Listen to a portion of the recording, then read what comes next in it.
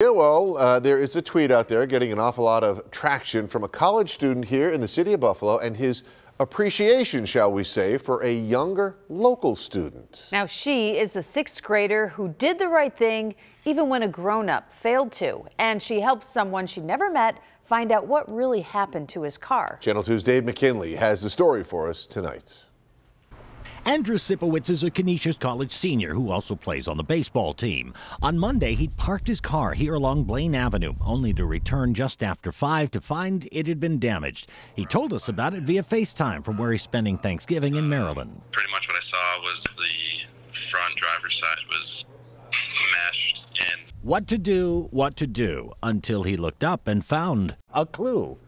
A clue, yep. It was a note, neatly handwritten, which began If you're wondering what happened to your car.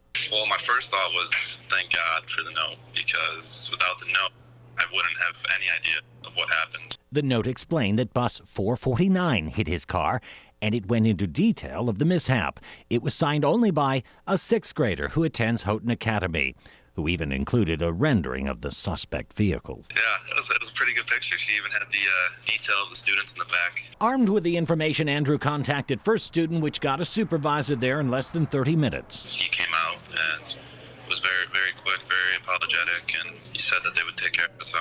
And then my next thought was I just wanted to find whoever wrote the note and thank them. At the urging of some friends, he tweeted a shout out to the anonymous sixth grader for saving me a couple thousand, with no idea how many times that shout out would echo across the Twitterverse. I thought maybe get 100, 200 likes, but within the first hour, I think I was over a thousand.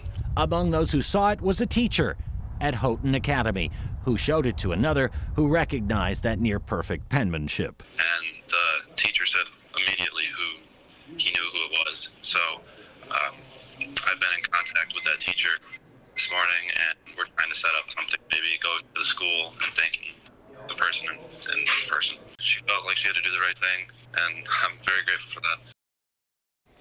First student in his statement told us that as damaging a parked car, not sticking around and taking off is contrary to what they expected their drivers.